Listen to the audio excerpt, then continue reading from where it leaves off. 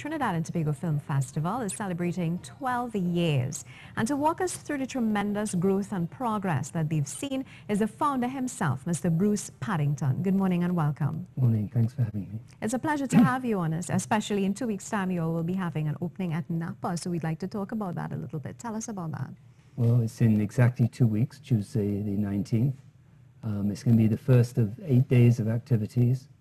Um, we're opening at Napa for the first time.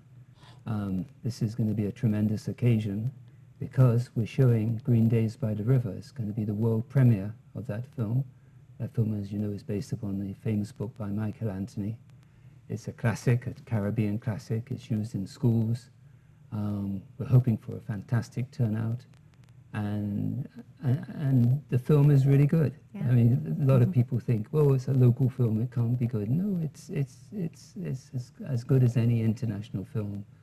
And it's uh, all Trini production, Trini, yeah. Trini actors, Trini writer, um, and the director and the producer. Uh, Michael Mooleedhar is the director, Christian James is the producer. They got their um, degrees in film from UWI, mm -hmm. and I was privileged to teach them. Yes. So, um, so that's going to be a great way of, of kicking off the festival. And you're very proud, I'm sure. Yeah, I was, I was so pleased. I said, please, please make sure it's good. I want the film to be good. Yeah. And it was. Yeah. Um, it is. and, and, and it's always nice to start at a, at a, and starting at a local festival. I mean, we're very honored. Yeah. That, and we, we can show a local film. We did the same thing last year, so it's a bit of a tradition. So I hope that every year we can find a, a local film that is worthy of being an opening film. Yeah. Um, last year we showed Play the Devil um, by Maria Govan and Abigail Hadeed. Um, last year we showed The Cutlass, yes. which I think you is, yes. has been in cinemas. Mm -hmm. So this year we're um, Green Days by the Rivers. We'll be going to cinemas after um, the, the, festival. And I'm hoping that some of the other films um, are also going to get a the theatrical and what, television release. Yeah, yeah. Um, there's one called Moko Jumbie mm -hmm. by Vashti Anderson. I wanted to ask you about that. Tell us about Moko Jumbie. It's, it's, it's a kind of coming home story. Um, it, it, was a low budget film, but it's very beautifully made. The, the, um, the director, Vashti Anderson, is half Trini, half American, a Trini American. And but she, in many ways, the film is an autobiographical film. Uh, maybe a, a, young young woman mm -hmm. living in, in the States, living away and wanting to come back home and seeing changes. Um, it also has folklore elements. So Green Days um, and Moko Jumbie are two must film, uh, must films to see. Um, Was it filmed both in Trinidad and Tobago? No, no. Both these films, unfortunately, were, were, were um, set, not unfortunately, they were set in, in Trinidad, but we always show, we have at least one or two um, films from Tobago. Right. And we always show our films in Tobago as well. Great. And this year we're at five venues. Um, we're at, um, main venue, I would call it, would be Port of, MovieTowne, Port of Spain in, in Invaders Bay. But we're also in Tobago, in the, um, in the MovieTowne in Tobago. We're, um, for the first year, we're at the C3. Yeah, C3. C3 yes, Plaza um, Mall or whatever. Yes. Um, so we're, we're excited we, about we're that. We're really excited yeah. because people say, oh, South people don't like what's going on in North and vice versa. And we say, no, this is one country. Yeah. And if, if people in Port of Spain love the festival, then, uh, then people in San Fernando will love it too. So we're really excited about that. Um, and we're showing Green Days and Moko Jumbie. We're showing both of them in, in, in San Fernando. And it's for eight days and it starts on it's, the 19th. Well, the first day is the gala opening. Yes. And uh, so it's really like the 20th to the 26th, so it's seven days of, of film screenings. And then we have two other venues. Um, we have UWI, and we and UWI and, and, the film festival has always been very close. Mm -hmm. um, I taught there up to a couple of years ago, so I have very close links and relationship with the UWI film program, and so we always show uh, um, a, a, number of, of, of, the best or some of the most interesting programs we show at UWI for the students, and, and the ones at UWI are free of charge, so they're so that makes them extra popular. Yes. and then we have a series of films dealing mainly with women's issues um, at the Hyatt. Um, and we have links with the UWI Center for Gender, Gender Is it a Issues. more do- a documentary type or? No, we have documentaries. Uh, yeah, like we have some documentaries. Mm-hmm.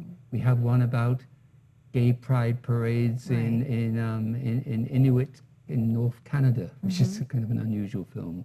Um, we have, but we have dramatic, which is a documentary. But we have dramas as well.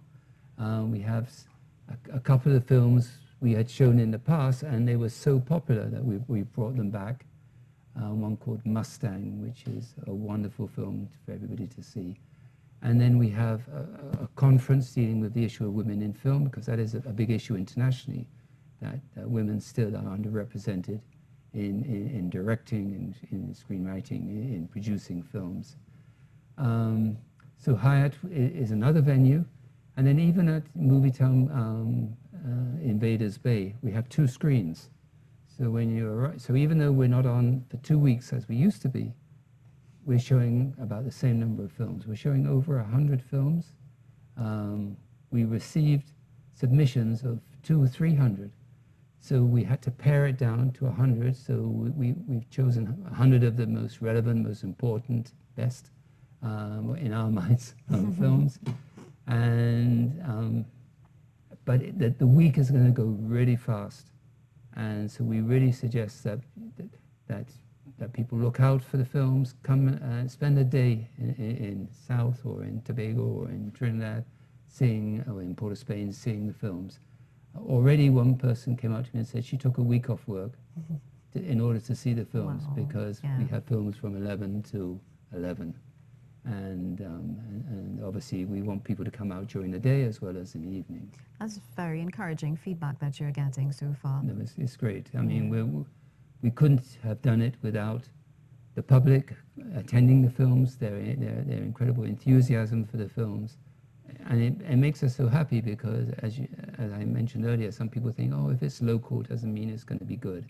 But these films are, are, are great films, really well crafted films, well scripted, well acted.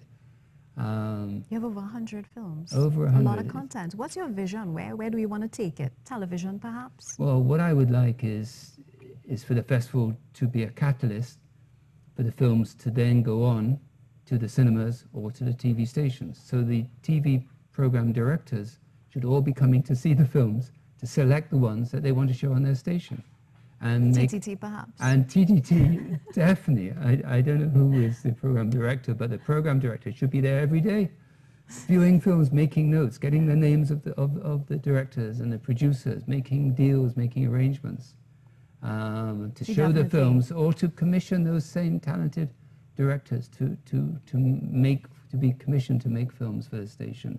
And it's not just Trinidad films, it's, it, it's, it's from Barbados, it's from Jamaica, it's from the whole wider Caribbean, it's, it's from Venezuela, it's from Chile. It's, um, we have a very global view of the Caribbean. It includes the diaspora in the States and in, in Canada and England. Um, and as you know, the Caribbean and Latin America are very close together. So, um, you know, so Costa Rica is our country of focus this year. And people don't realize that in Costa Rica they have a Caribbean coast. People in Costa Rica, not everybody, but a large number speak English. yeah. So Costa Rica is like a perfect partner. Last year we, we, we worked very closely with Colombia. Next year maybe it will be, I'm not sure where. So it's, it's very an exciting uh, lineup of films um, that showcase the talented people of the Caribbean. And, and, and, and the purpose is not just to celebrate films, which is part of our purpose. Um, the purpose is also to help to build a local film, a local and Caribbean film industry. So we have industry days. We, um, we, um, in, in, uh, we have seminars and workshops and panel discussions about co-productions, about financing, about Yes. distribution. Um, so this is a time when filmmakers can come and learn how to promote their films. We, we have a, a, a panel dealing with, or a presentation dealing with the selling of Cutlass. So Cutlass has done very well, mm-hmm. and it's been shown in the cinemas. So how did all that happen? how was Cutlass marketed? So that is one of the sessions we have. And all the industry sessions are free of charge, and they're at the Hyatt. And they start actually from Thursday, Friday, a whole day on women in film, Right. Saturday, industry. Sunday, we have a presentation by the Canadians on dealing with the gay pride Yes. in, the, in the North, North Territories mhm. of Canada. Um, we have a film uh, dealing with a, a, a, a woman agitator, a trade unionist, um, feminist from, uh, from Panama called Mata Morris. So there's a whole array of exciting things to do, and we really want people to turn out. And it's free of charge, you said. Well, or at the Hyatt and at UWI it's free of charge. Right. At the MovieTownes, um, the, the, MovieTowne, yeah, we, we, yeah, there is Yeah. a fee for that. Now, I um, understand you have a press conference this morning to talk about sponsorship. We have a press conference at 10 o'clock Mhm. at the Hyatt. This is like officially launching the- the festival because it's happening in two weeks today. Um, and again, we could not have done this. I mean, everybody says it, but we could not have done it without the sponsors, which is really true. Yes. Um, and we and we've been saved by having the most loyal sponsor in Flow.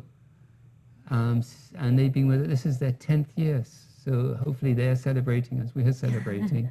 and it, it makes sense for Flow that is is produ- not producing but is distributing a lot of content for them also to support a Caribbean film festival. So we're so we're um, so we we are honoring um, our sponsors like Flow, like BP, TT, like the Ministry of Arts and Culture and Community Development, and many many others who uh, uh, uh, have made this thing this this event possible. And we also have so much help from the embassies.